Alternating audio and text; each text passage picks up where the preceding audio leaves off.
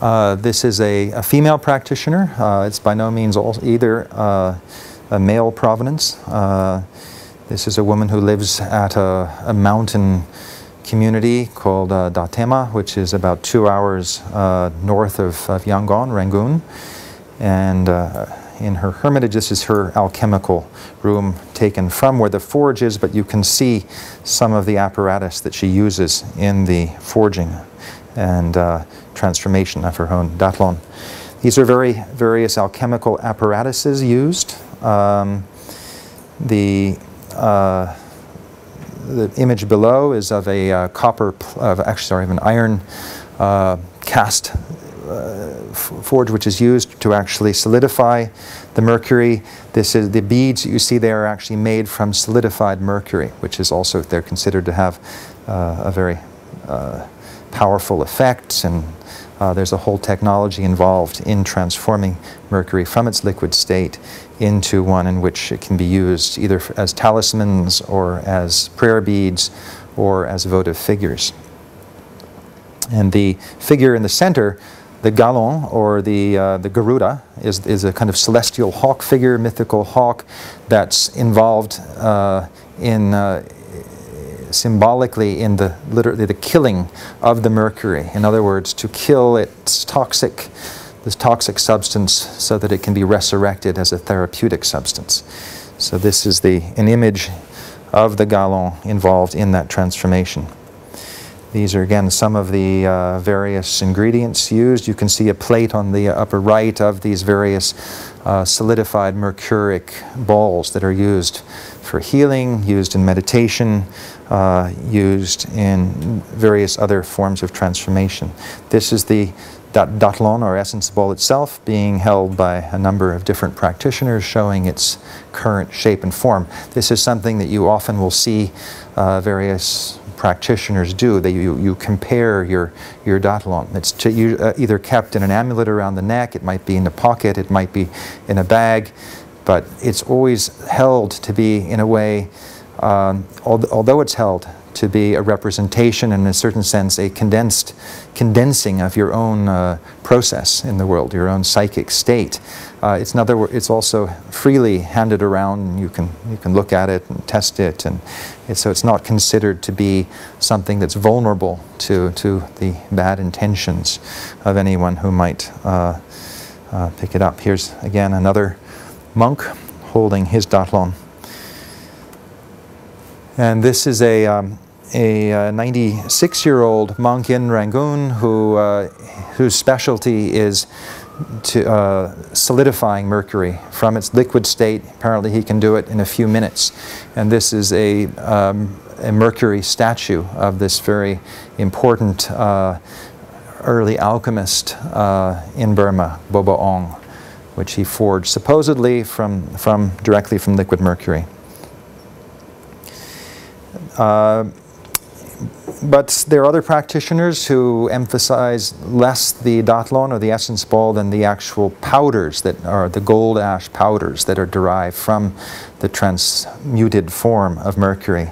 This is a practitioner here who was actually also a traditional doctor, who had reams and reams of papers of testimonies of the people who he claims to have healed of AIDS and cancer and various other intractable and incurable diseases. And I spent a day with him where the end result was this uh, golden ash that he was holding here uh, in this cup and something that then would be prescribed uh, to a patient and he had people all day long, uh, both monks, lay people from all walks of life coming to him claiming that they have had actually miraculous results uh, from using this ash, which was its primal substance was, was mercury.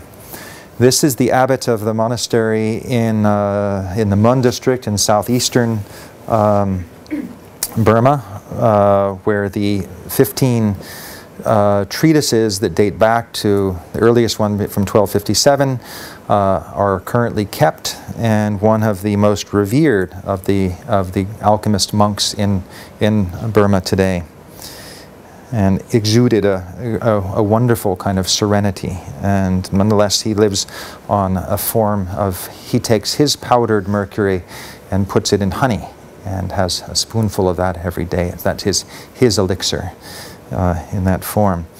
In terms of uh, the political dimensions that I mentioned earlier, this figure on the left, uh, Bhumibol, was a very, very key figure right up until the mid-1940s during the transition from British rule in Burma.